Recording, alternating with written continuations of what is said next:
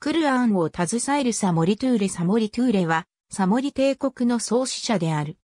サモリ帝国は、西アフリカのイスラム軍事政権として1882年からフランスの支配に抵抗したが、1898年にフランスに屈した。1830年頃、ギニア南東部でジュラ族の商人の家に生まれた。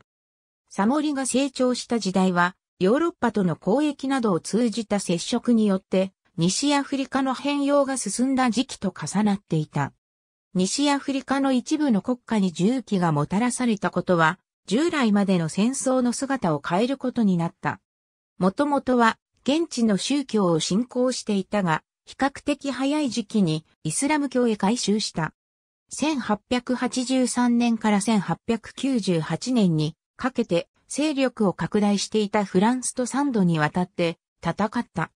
1898年にフランスと同盟を結んでいたコング帝国へ侵攻し、首都コングを焼き払ったが、フランスに撃退されて捕らえられ、ガボンに追放された。2年後に南京先のンジョレで肺炎のため没した。